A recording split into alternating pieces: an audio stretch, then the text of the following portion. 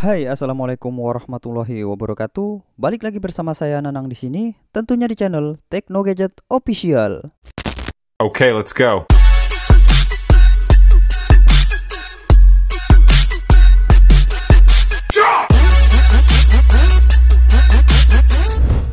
Oke teman-teman, di video kali ini saya akan mereview kembali config terbaru dari Gcam LMC 8.4 by Hasli, yaitu config Huawei P60 Pro. Seperti biasa, kalian harus simak video ini sampai selesai karena di dalam video ini terdapat fast forward atau kata sandi untuk membuka file ekstra config-nya.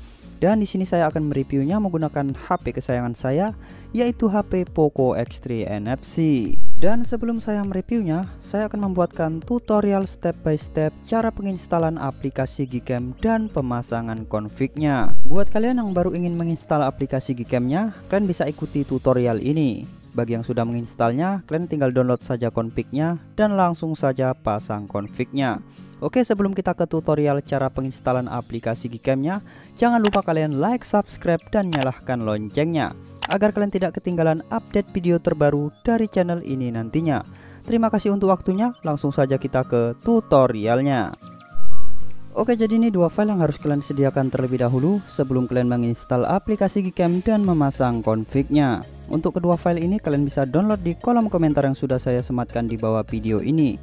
Dan di sana juga ada dua versi untuk Gcam-nya, yaitu versi R17 dan R18.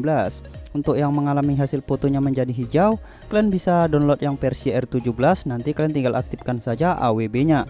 Jika masih hijau, kalian bisa cek deskripsi video ini di situ ada saya letakkan link tutorial cara fix hasil kamera hijau. Dan buat kalian yang bertanya HP-nya bisa pasang Gcam atau tidak, kalian tinggal download saja aplikasi manual kamera compatibility di Google Play Store yang seperti ini. Nah, seperti ini aplikasinya, tinggal kalian download terlebih dahulu. Setelah kalian download, langsung saja kalian buka dan cek. Lalu kalian klik start di sini.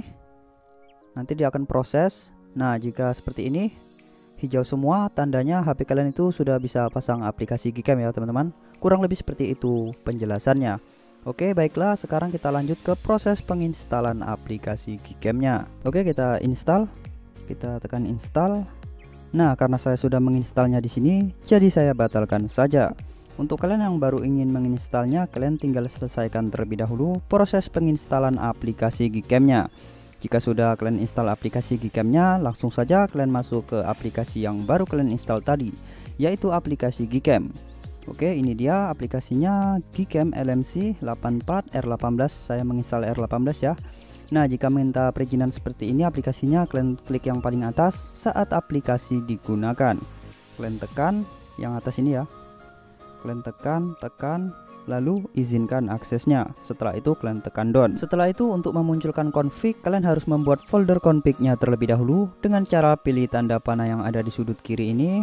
Kalian tekan, lalu kalian pilih more setting. Setelah itu kalian pilih config setting, lalu pilih save setting. Dan buat saja di sini bacaannya bebas ya, terserah mau apa pun bisa. Ini berguna untuk memancing folder config dari Gcam LMC ini nantinya akan muncul di folder penyimpanan internal HP kalian. Oke, jika kalian sudah buat bacaannya seperti ini, langsung saja kalian tekan yes. Jika sudah, langsung saja kalian keluar dari aplikasi Gcam-nya, langsung masuk kembali ke aplikasi ZR untuk mengekstrak config-nya. Oke, kita masuk ke aplikasi ZR dan ini dia config-nya Huawei P60 Pro. Baik, langsung saja kita ekstrak. Kita tekan config-nya. Lalu pilih ekstrak di sini. Lalu kalian masukkan fastforward yang ada di dalam video ini. Fastforward akan muncul di sudut kiri atas video ditandai dengan bunyi lonceng ya.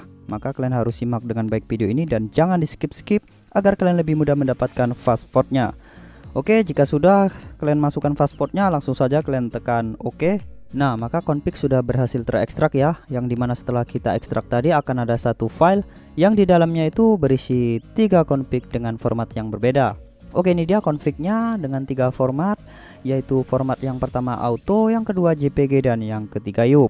Tinggal kalian sesuaikan saja format mana yang sesuai dengan device kalian masing-masing. Jika level kamera 2 API kalian level 3, kalian bisa memakai format yang YUP ataupun yang auto. Dan jika level kamera 2 API kalian level full, maka kalian harus memakai format yang JPG.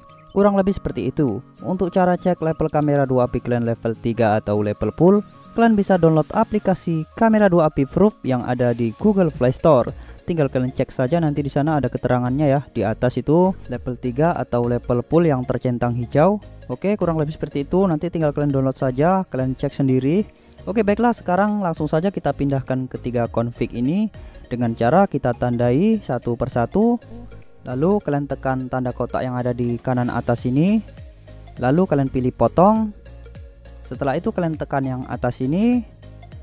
Lalu pilih memori perangkat setelah itu kalian cari folder LMC 8.4 Oke ini dia foldernya. Kalian masuk ke dalam foldernya LMC 8.4 Nah setelah itu langsung saja kalian paste config-nya di dalam sini. Oke baiklah. Jika sudah kalian paste config-nya di dalam folder LMC 8.4 Langsung saja kalian keluar dari aplikasi CR Zipper Dan langsung masuk ke aplikasi Keycam yang baru kalian install tadi.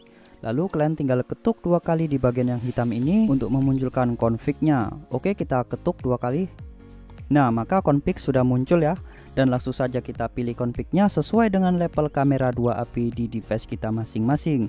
Karena di sini saya memakai device Poco X3 NFC, level kamera 2 API saya level 3, jadi saya memakai format yang YUP. Oke, ini dia config-nya Huawei P60 Pro YUP by Techno Gadget Official. Langsung saja kita tekan import. Oke, config sudah berhasil terpasang dan langsung saja saatnya kita review. Oke untuk review pertama kita main di mode kamera terlebih dahulu ya. Oke dengan objek outdoor masjid kita shoot. Baik kita tunggu prosesnya hingga selesai. Oke selesai dan ini dia hasilnya. Oke untuk tunnya cukup detail ya Dan pekat. Untuk warnanya tidak terlalu cerah. Dan ini saya review di sore hari ya sekitar jam 5an Oke kurang lebih seperti ini. Untuk detail yang dihasilkan pun cukup baik. HDR nya sangat merata dan dynamic range-nya cukup luas ya. Baik, sekarang kita tes menggunakan objek human. Masih di mode kamera ya. Mode yang sama langsung saja kita shoot. Baik, kita tunggu prosesnya hingga selesai. Oke, proses sangat cepat. Dan ini dia hasilnya. Oke, kurang lebih seperti ini hasilnya untuk di kulit sangat aman ya warna kulitnya dan hijaunya ini lebih pekat mantap sekali namun tidak terlihat oversaturasi. Oke untuk warna langitnya pun tidak terlalu terlihat ya karena saya reviewnya di sore hari. Jadi warna langitnya tidak maksimal. Namun ini untuk warna yang dihasilkan keseluruhannya mantap sekali. Detail tajam dan rata untuk HDR nya baik sekarang kita coba di mode potret. Oke sekarang kita berada di mode potret. Langsung saja kita tap fokuskan ke objeknya dan langsung shoot. Baik kita tunggu prosesnya hingga selesai. Oke seperti apa detail yang dihasilkan? Oke kita tunggu saja dan selesai. Ini dia hasil dari config Huawei P60 Pro by Techno Gadget Official di mode potret. Bokehnya yang dihasilkan ini sangat rapi ya. Detailnya mantap Dynamic range-nya luas Tidak terlalu cerah atau over white dan warnanya ini begitu pekat ya menyeluruh tidak terang namun cukup pas untuk dilihat di mata dan rona kulitnya aman sangat estetik untuk hasilnya dan tidak terlalu cerah juga ya karena saya review di sore hari jadi kecerahannya di sini cukup pas ya tidak terlalu over exposure. Baik sekarang kita tes lagi masih di mode potret kita tap langsung saja kita shoot. Baik kita tunggu proses HDR nya hingga selesai. Oke kita tunggu. Selesai. Dan ini dia hasil dari config Huawei P60 Pro di objek human di mode potret. Keren sekali. Untuk detail yang dihasilkan cukup dalam ya. Tidak terlalu oversaturasi dan tidak terlalu over softness untuk warna yang dihasilkan pun cukup kalem, tidak terlalu cerah dan bokehnya pun cukup rapi. Ditambah lagi dengan objek background di belakangnya cukup keren melihat foto ini menjadi seperti sangat estetik. Oke baik sekarang kita tes di kamera ultrawide nya Oke ini dia masih dengan objek yang sama langsung saja kita shoot. Baik kita tunggu prosesnya sangat cepat di ultrawide ini prosesnya dan ini dia hasilnya. Nah keren sekali untuk warnanya. Dan sedikit agak kuning ini karena efek sunset di sore hari ya matahari. Oke kurang lebih seperti ini hasilnya. Detail mantap tajam dan terlihat realistik. Sekarang kita tes ke mode potretnya. Kita mainkan zoomnya ke 1,5 Oke langsung saja kita tap dan kita shoot. Baik kita tunggu proses HDR nya hingga selesai Oke selesai. Dan inilah dia hasil dari config Huawei P60 Pro by Techno Gadget Official di mode potret di lensa ultrawide. Oke kurang lebih seperti ini hasilnya. Keren sekali. Bokehnya rapi. Dan untuk rona kulit pun sangat aman ya di lensa ultrawide ini cukup keren dan hasilnya pun cukup bagus walaupun kita review di sore hari yang sedikit minim cahaya atau kekurangan cahaya. Baiklah kurang lebih seperti ini hasil dari config Huawei P60 Pro. Oke, baiklah mungkin cukup sampai di sini review config terbaru dari saya di Gcam LMC 8.4 by Hasli. Jangan lupa kalian like, subscribe, dan nyalakan loncengnya agar kalian tidak ketinggalan update video terbaru dari channel ini nantinya. Terima kasih sudah menonton, saya akhiri video ini. Assalamualaikum warahmatullahi wabarakatuh. Sampai jumpa di video selanjutnya.